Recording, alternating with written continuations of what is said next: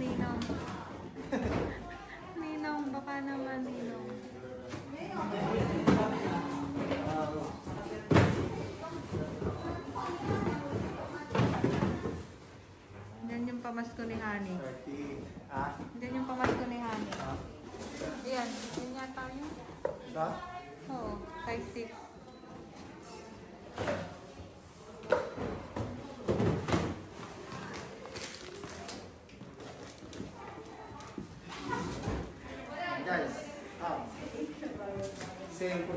Taichung. ABC Warehouse. 16 pairs of shoes. Solid, 300 and 500 lang ang presyo. Tapos sa dami. 5'1" lahat, 5'1". Kita nyo naman. Vans, Reebok, yan. Mga Saucony. Yan guys. Oh, yan na. Okay. So ito na po guys yung nabili namin. Yan, papakita ko po sa inyo tag isa-isa. Yung nabili namin doon sa ABC Warehouse. Yan. So pag yan ito. Yan. Vans po ito guys. Original po ito Vans. Yan. Worth 300 lang po. Yan.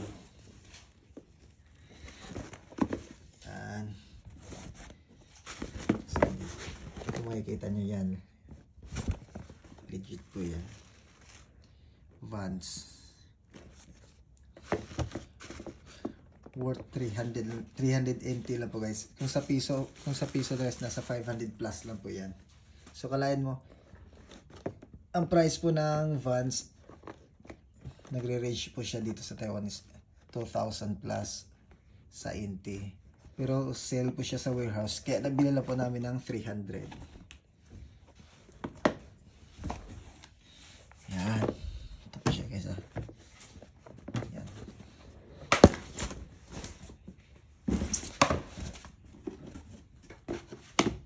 And then ito, Sperry. Yan. International brand po yan guys, Sperry.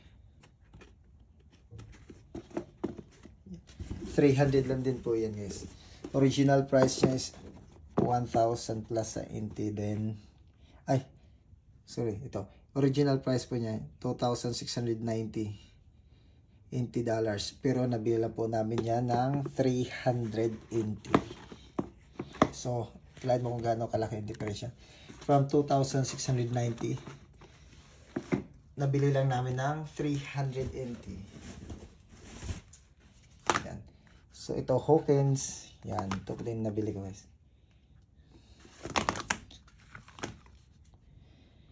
Yung price po ito guys, nasa box po siya.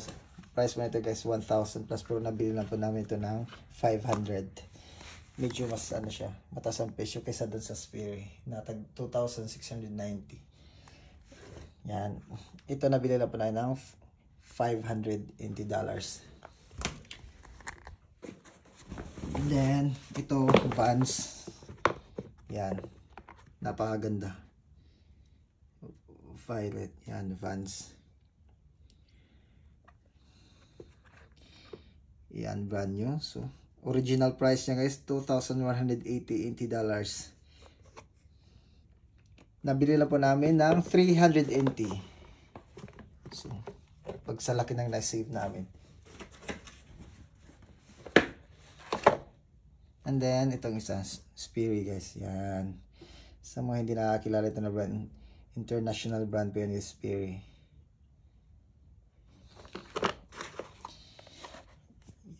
So, ito. Napaka... Hindi po ito second hand guys, pero brand new po ito lahat. Papakita ko lang sa inyo.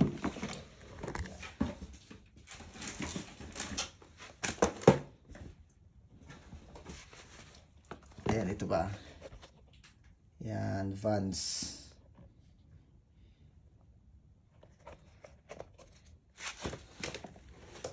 Yan. So, kung makikita nyo yan ang Vans. Ito Vans.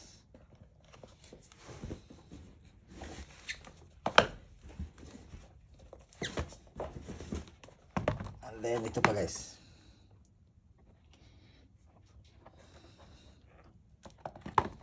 Yan. By PF po yan guys. Ito pa. Yan. Ito po yung nabili namin dun sa ABC Warehouse. Yan. Then meron pa isang pair dito ng Sperry. Yan. Yan. Itong Sperry tag $580.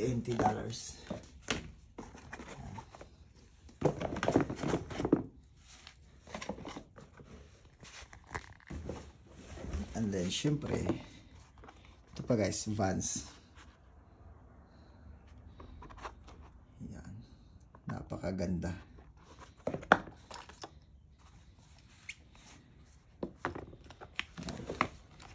Price po nito niya guys, ah, kakaiba po siya kasi maganda po siya na style na Vans. So ito po, $580. Yan, Kasi napakaganda. Yan. Vans. Yan. And then meron pang isa guys. Ito. Yan.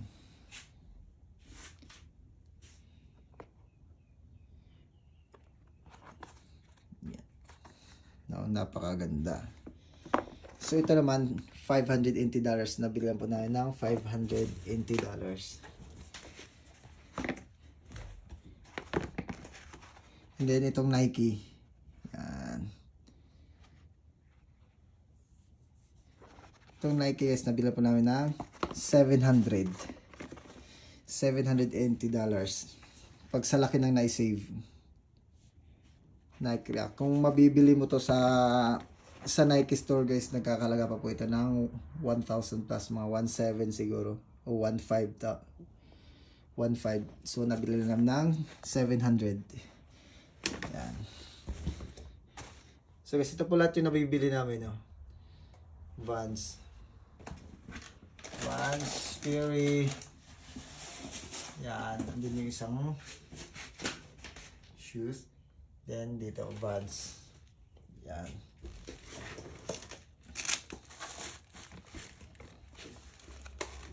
And meron pa kami isang nabili pala dito.